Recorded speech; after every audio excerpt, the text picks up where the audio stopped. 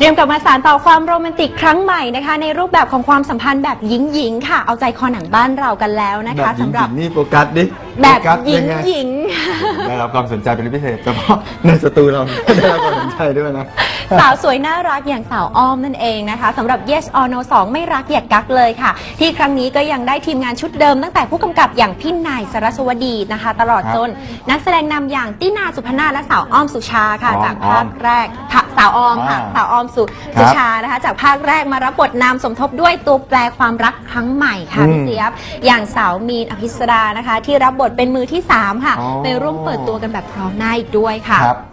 นี่ไงงานนี้ผู้กำกับสาวมาดเข้มอย่างพี่นายนะคะ เขาก็ยังให้อยากให้หลายคนเนี่ยที่อืมเคยประทับใจใน Yes or No ภาคแรกมาแล้วเนี่ยนะคะ อือฮึได้เตรียมพิสูจน์ความโรแมนติกสุดเข้มข้น ครับ กับครั้งใหม่ที่แบบว่าครบรถกว่าเดิมอ่าวันด้วยนี้มีค่ะ ตัวอย่างมาให้ชมกันก่อนด้วยครับ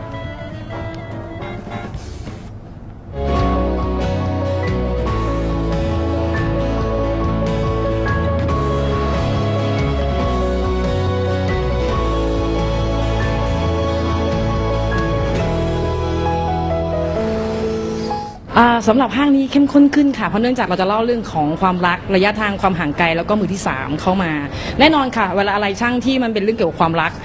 เป็นตัวเราเองเนี่ยมันจะดูเป็นเรื่องใหญ่เสมอค่ะเพราะฉะนั้นมันก็จะมีเรื่องของดราม่าตลกเรียกว่าภาคนี้เรา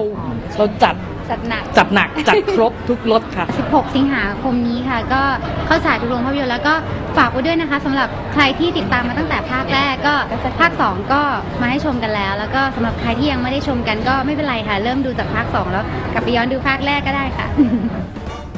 เขาบอกว่าโฟกัสไปที่ความเข้มข้นใช่ไหมค่ะดราม่าใช่ค่ะ กว่าเดิม ค่ะ ต้องดูว่ามี love scene เหมือนภาคแรกป่ะ ก็อาจจะมีแต่ว่าอาจจะมีดราม่ามากยิ่งขึ้นค่ะ ส่วนทางด้านสาวหน้าใสเนี่ยนะคะอย่างสาวออมนะคะ ก็มีประเด็นให้ต้อง clear ค่ะ ในอืม เรื่องของความคลุมเครือว่าตกลงแล้วเธอชอบผู้ชายหรือว่าผู้หญิงกันแน่ค่ะ อ้าวไปอย่างฟังนั้นเลยค่ะใช่ไหมอ่า